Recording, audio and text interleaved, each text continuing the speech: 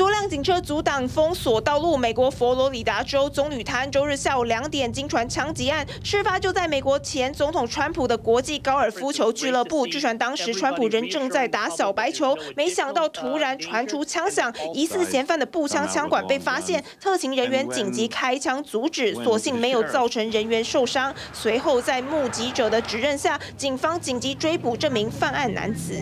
Fortunately, we were able to locate a witness that came to us and said, "Hey, I saw the guy running out of the bushes.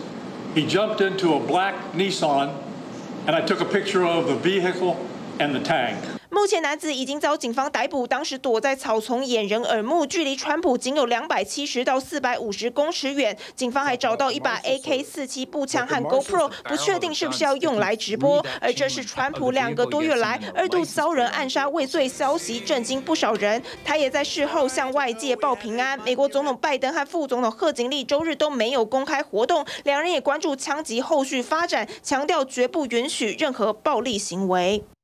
不说海地移民在俄亥州春田市偷吃猫狗的说法，争议持续延烧。正好白宫发言人上皮耶的祖籍就是海地。I take it personally when any community, any vulnerable community is attacked, not just not just a community that I belong to. 上皮耶大力谴责川普，总统拜登也跳出来捍卫他。There's no place in America. This has to stop what he's doing. It has to stop. 只不过吃猫狗言论已经开始发酵，春田市多个公共机构、学校都受到炸弹威胁，让当地居民人心惶惶。Many families are starting to think of leaving Springfield, and some kids are not even going to school because of fear of being attacked. We have to focus on making sure this rhetoric is is is dispelled. That these rumors are just they're just not true. 而美国媒体一路追溯，终于找到第一个散播移民吃猫的人。当地一名三十五岁女子 Erica Lee 起初在 FB 上发文说，她的邻居纽顿向她说，她的朋友的女儿的猫失踪。最终找到爱猫时，已经高挂在海地移民区的树枝上。换句话说，这已经是第四手消息。Erica 事后也坦言，她既没有证据，也从未想过她的 Po 文会成为选战焦点。尽管如此，川普却紧咬移民者不放。I know that it's been taken over by uh, illegal migrants, and that's a terrible thing that happened. Springfield was this beautiful town, and now they're going through hell. It's a sad thing. Not going to happen with me, I can tell you right now. 不过，正当各界聚焦俄亥俄州，CNN 点出宾州才是胜选关键。You give Kamala Harris Pennsylvania, she gets to exactly 270 electoral votes.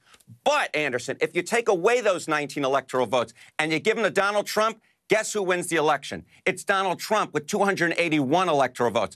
最新民调显示，贺锦丽在宾州仅领先川普百分之零点五，也就是说选情相当焦灼，最终鹿死谁手尚不明朗。TBS 新闻综合报道。They're eating the dogs. Whoa, whoa, whoa, whoa. They're eating the cats. Meow, meow, meow, meow. They're eating the pets of the people that live there. 川 普在辩论会上的移民吃猫狗言论，现在被美国直播主改编成洗脑电音曲，在 Z 世代超夯的 TikTok 上面掀起话题。I mostly see Trump stuff. I went to the same high school as Barron Trump. 不止川普，贺锦丽在 TikTok 上面也有支持他的一票粉丝。You edited this? This one I had some help from um, one of our younger volunteers. We we were specifically trying to reach like a younger Gen Z, almost Gen Alpha leaning audience with that. 平常对政治相对冷感的美国 Z 世代开始在 TikTok 上关注大选议题，川普也因为吃猫狗的言论霸占搜寻引擎。If you're running a presidential campaign that you'd want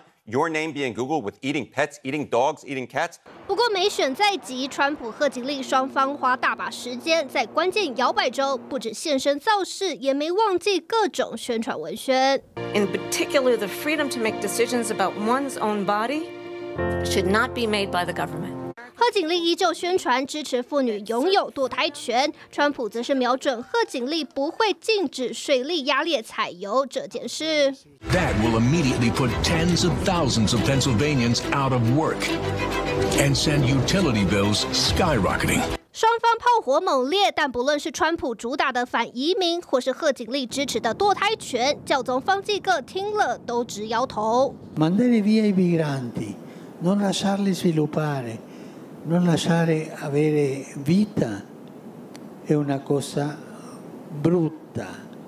Mandare via un bambino 比起历任教宗，方济各立场更开明，也更加直言不讳。不管是贺锦丽还是川普，方济各对两阵营各打五十大板，谁也不支持。TVB 新闻综合报道。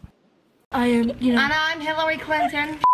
即便不是真的川普，嘴巴依旧不饶人。镜头前的孩子扮起川普和希拉蕊，语气惟妙惟肖。不过，川普这股气势却在阿拉巴马州踢到铁板。被烧成火球的干草堆原本可是这样子。That's unbelievable. There's no freedom of speech left, I guess. 阿拉巴马州的川粉在自家院子用干草堆堆成川普的样子，没想到却遭人纵火。So, I mean, if they want to burn it down again, I'll just rebuild it again. 除了报警处理，川粉不甘心，喊话继续打造干草川普。这股毅力不亚于川普对外来移民的穷追猛打。We will do large deportations. from Springfield, Ohio. Large deportations. We're going to get these people out. We're bringing them back to Venezuela.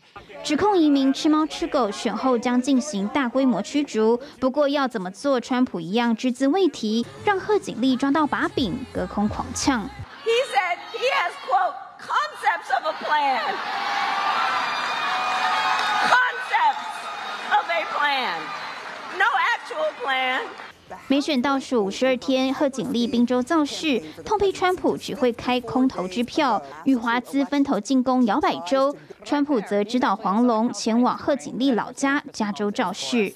Uh, doing things like bringing Barack Obama back on, onto the trail. Like uh, there, there's talk about trying to get Taylor Swift and Beyonce to be doing concerts. 尽管贺锦丽赢了辩论会。不过，不论是民主党还是共和党，想赢得大选，中间选民依旧是关键。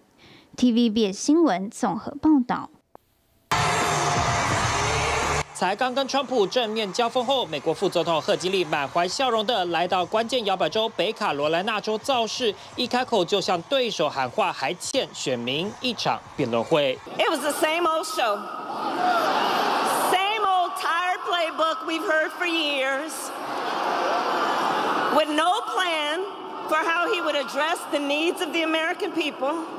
贺锦丽对再次交锋跃跃欲试，他的竞选团队还指出，在十号 ABC 辩论后的二十四小时内，就募款到四千七百万美元，相当于台币十五亿元，成为他募款第二高的一天。但共和党总统候选人川普却兴致缺缺。As everyone saw two nights ago, we had a monumental victory over Comrade Kamala Harris.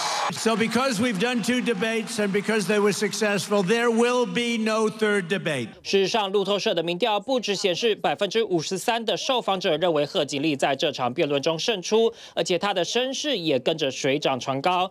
贺锦丽百分之四十七的支持率略胜川普的百分之四十二，其中导致选民认为川普输掉辩论会的一点就是他吃猫吃狗的言论。然而在亚利桑那州的造势上，川普却加倍指控俄亥俄州春田市的海地移民还会偷鹅。The recording of 911 calls even show residents are reporting that the migrants are walking off with the town's geese.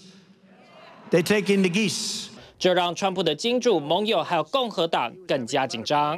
I don't think you should say stuff that maybe make make it harder for people to vote for you。就连近期投靠川普阵营的小甘乃迪都在福斯新闻网上坦言，贺锦丽在辩论中胜出。CNN 则强调，距离大选只剩下五十多天，川贺双方进入最后冲刺阶段，预期将展开更激烈的选战攻防。TBS 新闻综合报道。